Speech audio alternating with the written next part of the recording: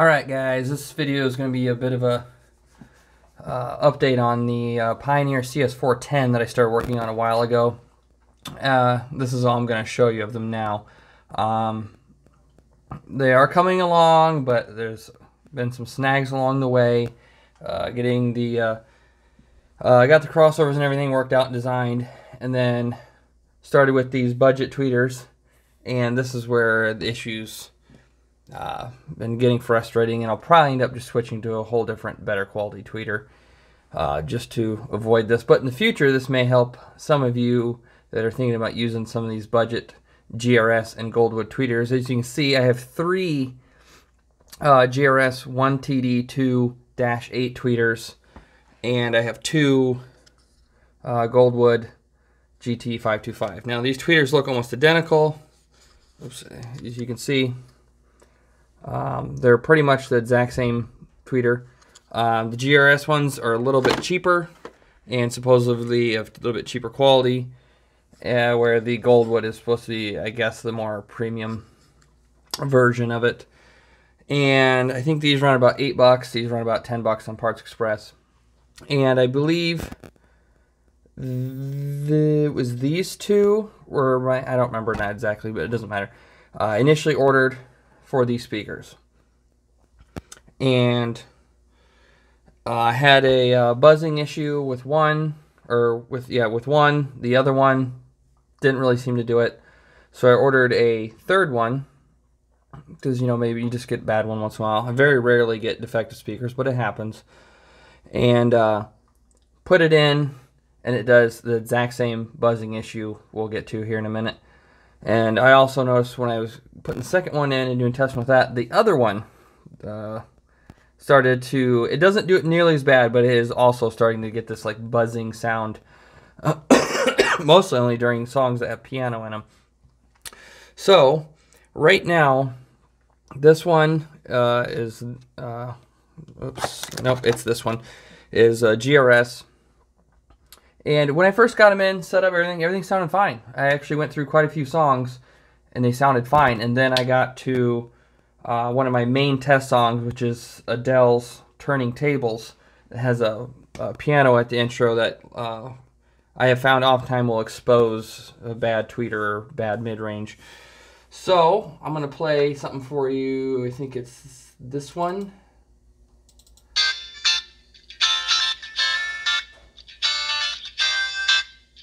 You know, it sounds pretty good, sounds clean, it's not really doing anything weird.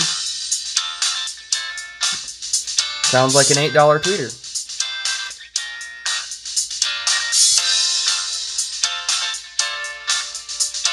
Now, uh, these are going through a first order crossover um, at 2300 hertz. Um, so I'm not just running them directly. There is a crossover here that was I designed on Xover Pro for these drivers. And now we'll go to hear that like distortion, just terrible.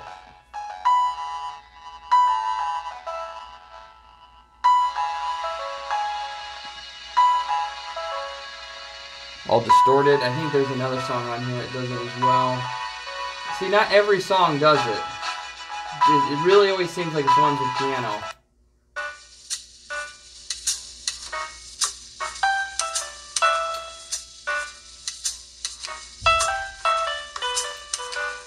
Here we'll go right to the one I use a lot of times. I'm not going to play the song for very long because I don't want to get a copyright strike or something. But listen to the piano at the beginning of the song on this tweeter.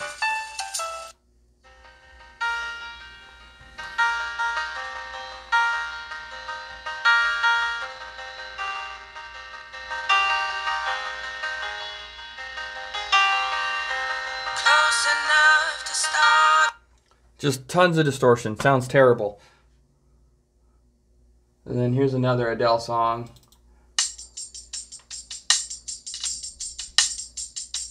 Sounds fine. Obviously, it's just certain uh, frequency range and tones that are causing it. But depending on what music you listen to, sometimes this can slip by. Um, that's why after I build speakers, I test them with many songs. Sometimes I'll listen to over you know 100 songs, making sure that this kind of stuff doesn't happen. Because a lot of times I sell these speakers. So what we'll do now, so we'll pull this one out. stick him up here for now. Yeah, both of these are that bad. This GRS does it too, but not nearly as bad. Um, uh, you, it's definitely there, but you do have to listen to it a little bit more. And then the the two Goldwoods, I don't remember which one is bad, so we'll just have to hook them both up here. I'll stick him back in there. Switch back to playlists. No distortion. No buzzing.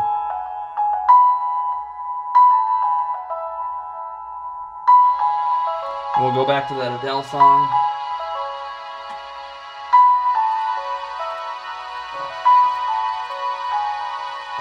Adele's Turning Tables. This is how it should sound.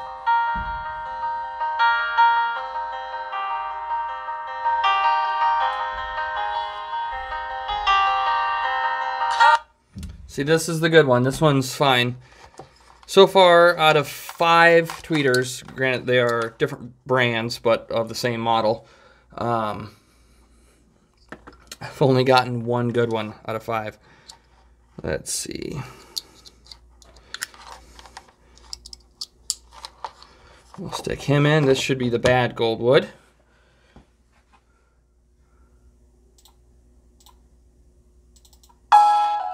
Eee.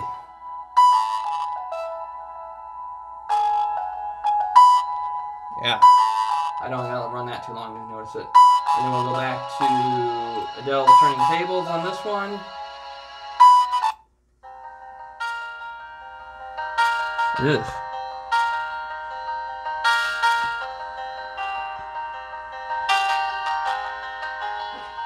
So, be careful when buying some of these budget tweeters. Keep your receipts. check them right away. Um, I can't remember Parts Express return uh, policy right off top of my head, but don't let them sit around for a long time, uh, and uh, then find out that they're they have issues. Uh, luckily, I've done a lot of business with Parts Express. I've been buying speakers and parts from them since for last I don't know 18 years. Um, they refunded my money on all three of these because all three of them are bad. And I haven't contacted them about the Goldwoods yet, but these will. I just got these today, and uh, this time these sat around. I had these for a little while while I was still working on the speakers, and I didn't know they were bad. So uh, usually I, I, broke my own rule. Usually I test the stuff the day I get it and make sure it's good. then I'll let it sit as I get to it. But uh, these I tested them immediately, and as you've seen, one of them's fine, the other one is terrible. So I'm gonna send both the Goldwood back and probably just go with the Hi-Vi or something, uh, another brand that's a little more expensive, but I've had a lot better luck with. So.